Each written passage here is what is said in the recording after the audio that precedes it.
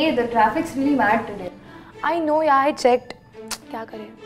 Uh, can we leave in 5 instead of 35? Mm, yeah, sure. Yeah. Hello everyone, today I'm going to an event and I'm going to one after like two months. So I thought of shooting this get ready with me and I'm going to show you step by step what I'm going to do for today.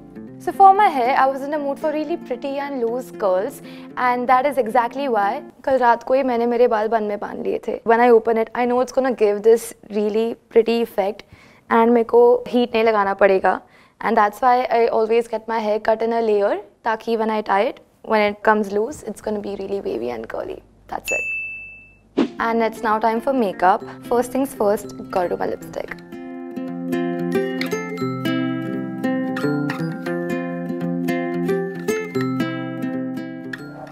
Gonna use a little bit on my cheeks as well.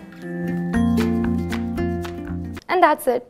I know dark circles dikh rahe, I know skin greasy raha hai, but I'm going to an event, not a film shoot. And that is why I think I am perfectly fine in this. I look like a real person. This is the look. So every time there's a big event, it's always tempting to go for the heels, right?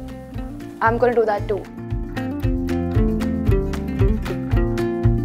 But कितने भी महँगे और अच्छे heels क्यों ना हो, दो घंटे बाद they always start hurting so I am always gonna pack my flats wherever I go so this is it guys कितना भी बड़ा इवेंट क्यों ना हो, किसी की शादी भी हो and even if it's a birthday whatever makes you feel comfortable is the look of the day now don't get me wrong even I do get ready with me yeah like proper foundation and everything but that's only one I feel like it so if you watching all of these a lot and if you feel the pressure trust me don't do it because it, at the end of the day, it's gonna matter how you feel. And today, this is my look, and I'm excited for the event. Hey. Oh, hey, Karan's also here. Come. Oh, hey, you guys. I'm so excited to go out with Heli tonight. Doesn't she look so good?